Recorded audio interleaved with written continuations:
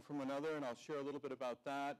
One of my favorite words, and one of the words I overuse the most these days, is multimodal. Multimodal, multiple modalities of transit, multiple modalities of meeting. I would disagree with Larry a bit that people do learn in a lot of different environments, and to John's uh, comments uh, during the, the Q&A. But multimodal transit, multimodal capabilities in terms of communication. We live in a multimodal world. And finally, smart growth, smart transit, sustainable development policies, all of these are emerging as leading practices within our cities, both in the US and in the emerging markets. Um, I was born in Seattle, so this is one of my favorite slides of Cascadia, a mega region, Seattle, Vancouver, and Portland, Oregon. Um, the densities you see here are leading practice densities where you have strong urban cores. City of Portland has a 40-year plan around transit. City of Seattle teaches other cities around the world in terms of sustainable policy. City of Vancouver, post-Olympics, is rated number one city across five different uh, criteria ratings and ranking systems around the world. So Cascadia as a mega region is doing a lot of things right. And those of us in New York and Boston and Chicago and Washington and Florida can learn from the practices of Cascadia. This is the European Union's uh, matrix for eco-city uh, growth and development. And if you look at all, again, these criteria, a lot of focus upon human scale, renewable energy, walkability, new urbanist policies and platforms. And actually, New York City, for those of you who don't know this, is probably the greenest city in the country on a per capita basis, given our transit and low carbon footprint per, per capita. Uh, the Europeans and the Australians are very much ahead of us in terms of this type of criteria. But as we see climate change and the cost of climate change continue to accelerate, we believe this type of criteria will become more of a norm for this country and elsewhere in the emerging markets as cities grow and urbanization continues. So, so let's talk a little about technology and, and why, how are cities becoming smart? Um, this again is another listing of urban innovation, intelligent smart energy systems, as technology is advancing, cities are becoming smarter. We as people are becoming smarter. And the word smart is, is in reference to intelligence. Cities are knowing what their citizens are doing. Our smartphones tell us where we are, where others are, near field communication devices. All of this is creating a web of knowledge for cities. We will have billions of mobile internet devices in the next five to 20 years. Um, another very interesting um, element is the consumerization of IT, which, you know, to the earlier point that, that Dan made, no one could predict that the iPhone would have such an impact on the consumer behaviors that then influence the work behaviors. See, traditionally we were all tied to the mothership of our corporate technologies. But what's happening today is our consumer technologies are beginning to move ahead of the corporate mothership technologies. Again, multimodal, multiple modalities of technology, uh, engagement, communication, collaboration. Um, video telephony, 3D telepresence, holograms will be here in two to three years. Predictive analytics, um, tremendous power in looking ahead with analytical capabilities. Cloud computing, I'll talk a little bit about as to what that means. Distributed work. Work is being done around the world in packets and distributed on 24-7 basis. Artificial intelligence, IBM Watson the folks at IBM we're working with. You will soon be able to walk up to a screen and give that screen your medical issues, and the screen will talk back to you and tell you what your options are in terms of the diagnosis. And if the screen doesn't know, the screen will use Cisco telepresence to connect to a series of doctors who will know the answer.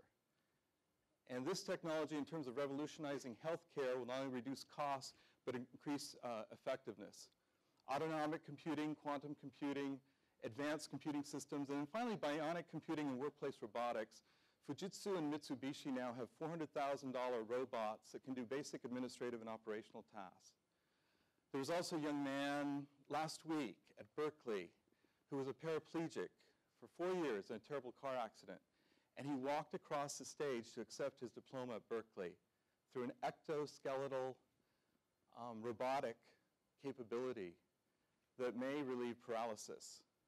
I have another friend in the UK who's basically blind, who's on a wait list for a retinal digital transplant that will be available in 2014 that will relieve blindness. These technologies are really powerful, and what's ahead can have huge effects on humanity and how we live and work. On the corporate side, going digital is the future. Um, digitization, anybody's interface with iTunes, digital music. It supports business intelligence. It reduces oper operational costs. At Bloomberg, for example, also at Cisco, um, tremendous cost savings. Bloomberg estimates a 200% return on all their digitization activities around reducing waste and eliminating um, unnecessary costs. Digitization creates collaboration, it normalizes various generational differences, and it provides tremendous work-life flexibility. And I would counter Larry Prusak, who I know well and have worked with over the years, that learning does happen in a multiplicity, in a multimodal fashion. And digital learning and digital capabilities will only advance and increase over the next five to 20 years. So all of this is creating not only an urban fabric that is smart and hopefully more sustainable, but very soon, by 2020, and I have just a series of slides here, between 2015 and 2020, some of the predicted trends from McKinsey and others. By 2020, 80% of the world will have access to mobile telephony. Today in the emerging world, mobile telephony is outpacing running water and electricity two to one.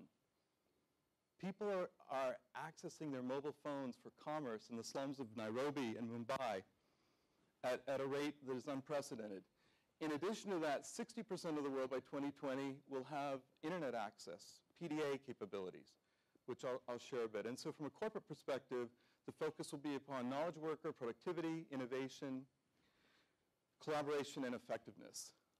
Our good friends at McKinsey just released a report about two weeks ago. By 2015, 700 million more Asians, that's twice the population of the US, will start using the internet. In China, we will go from 385 million to 770 million, almost a doubling. In India, from 80 million to almost 380 million. In Malaysia, a doubling, more than doubling, 15 to 25 million. The emerging markets will embrace technologies and will have the opportunity to accelerate and leapfrog uh, in an unparalleled, unparalleled manner. So finally, I have a few slides on what does this really mean in terms of cities. Greg Lindsay, our good friend, who actually was a keynote at CoreNet, those of you who were there, talked about who will control the city of the future, the smart city. And companies like Cisco, IBM, ourselves, other technology firms are betting on the next 30 to 50 years that technology and urbanization and sustainable urbanization will really be the framework for entirely new business models. So just quickly, I'd like to highlight mobile broadband, smart personal devices, cloud, public technology interfaces, open data, and there are some huge societal implications to all of these advances, which also need to be recognized. In terms of mobile broadband, we're going to go from a fixed world to a mobile world, which we're already um, very much underway. Video communications will expand. The global north, global south will come together through huge undersea fiber grids. 100 Mbps wireless mobile broadband will be the norm. And we're going to see a huge network occur across the globe in terms of mobile, wireless, and connected communications. Smart personal devices. This is one of my favorite facts. Uh, in Bangalore, in January, a $35 tablet was introduced that has the full functionality, almost, of an Apple iPad. Uh, it's predicted by 2019 that smartphones will be about 4 to $5 a smartphone. Um, interactive video, most of the globe by 2020 will have access to inexpensive networks, inexpensive hardware, and low-cost connectivity. What will also accelerate this is the, the expansion of the cloud. Cloud computing is a centralization of computing. And governments in particular can access the cloud to reduce governmental cost, waste. Um, it will become pervasive. We will have huge data mining and public repositories in the cloud. and I know Relena and Tom will speak a little bit about this as well, it will reduce the cost of public sector expenditure in a huge, significant way. In the United Kingdom and elsewhere, the cloud is already in, in place. In the corporate sector, it's today $40 billion. It'll be 240 billion by 2020. These are examples of cloud um, migration capabilities today, and I'm happy to share, you know, give me your cards. I have tons of research I'm happy to send you via email on these various uh, SaaS, PaaS, IaaS, and XaaS in terms of the IBM internal cloud where IBM colleagues around the world can share expertise. These interfaces will do something that's never been done in the history of the world. Poor and illiterate and handicapped people will have access to technology because the natural interfaces will no longer need keyboards. It, technology will become so ubiquitous and so such, such low cost, it'll be embedded into everything.